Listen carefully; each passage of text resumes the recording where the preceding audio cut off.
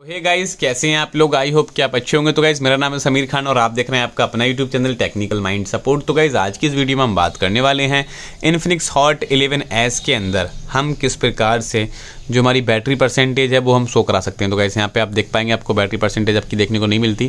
तो गाइज़ इसको आप कैसे शो कराएँगे, उस बारे में गाइज़ मैं आपको बताने वाला हूँ। ठीक है? सिंपल सिंपल से स्टेप्स हैं जो कि आपको फॉलो करने पड़ेंगे।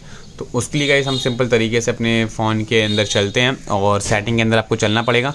तो गाइस यहाँ से हम सेटिंग के अंदर आ जाते हैं। ठीक है गाइस सेटिंग के अंदर आने के बाद गाइस यहाँ पे आप जैसी सेटिंग के अंदर आते हैं तो गाइस इसके बाद सेटिंग के अंदर आने के बाद आपको थोड़ा नीचे जाना है स्क्रॉल डाउन करके।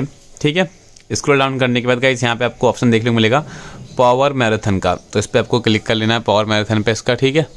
इस पर क्लिक करने के बाद गाइस यहाँ पे आपको बैटरी सेटिंग का ऑप्शन देखने को मिलेगा। और यहाँ पे आप देखेंगे तो आपको एक ऑप्शन देखने को मिलेगा बैटरी परसेंटेज का। तो इसको आप यहाँ से इनेबल कर दें। तो गाइज़ इसको आप इनेबल कर देंगे तो काफ़ी आसानी से इनेबल हो जा, हो जाता है। और जैसे ही इनेबल होगा तो आपको यहाँ पे बैटरी परसेंटेज देखने को मिल जाती है।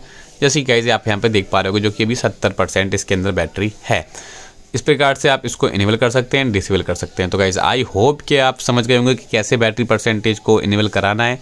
तो गाइज़ वीडियो अगर आपको अच्छी लगी तो वीडियो को लाइक कर दें और चैनल को कर ले सब्सक्राइब तो गाइज़ मैं मिलूँगा आपसे फिर किसी अगली और इंटरेस्टिंग वीडियो में। तब तक के लिए बाय एंड टेक केयर